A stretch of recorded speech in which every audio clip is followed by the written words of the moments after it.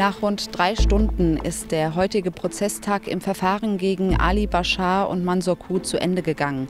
Die beiden sollen eine Elfjährige vergewaltigt haben. Wie schon am Anfang zu erwarten war, wurde die Öffentlichkeit ausgeschlossen. Das bedeutet, noch bevor die Anklage verlesen wurde, mussten Presse und Besucher den Gerichtssaal verlassen. Die beiden haben sich gar nicht bzw. nur teilweise geäußert. Ali Bashar hat noch Angaben zu seiner Person gemacht. Mansour Q hat allerdings komplett geschwiegen.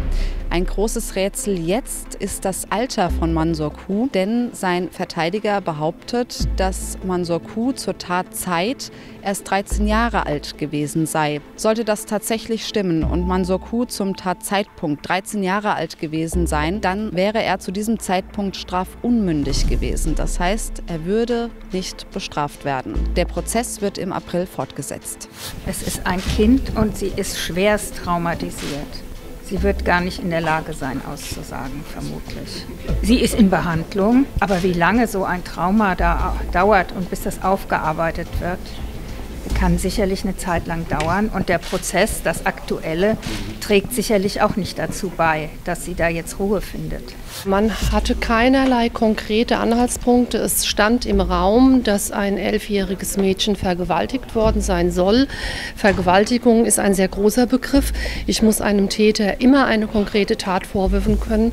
Das war hier nicht der Fall. Bis zum 30.06.01.07.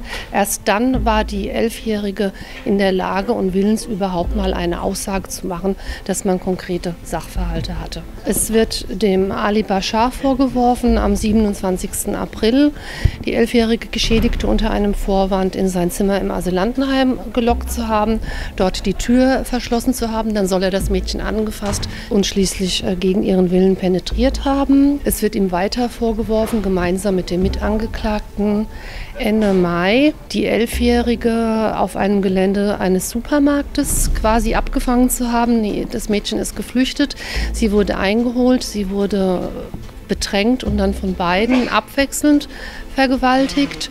Und dem 14-Jährigen wird schließlich noch vorgeworfen, gemeinsam mit dem strafunmündigen Bruder des Angeklagten Ali Bashar mit der Geschädigten in ein Waldstück gefahren zu sein und dort gemeinschaftlich ebenfalls vergewaltigt zu haben, indem jeweils der eine das Mädchen festgehalten haben soll und der andere Geschlechtsverkehr mit ihr vollzogen haben soll.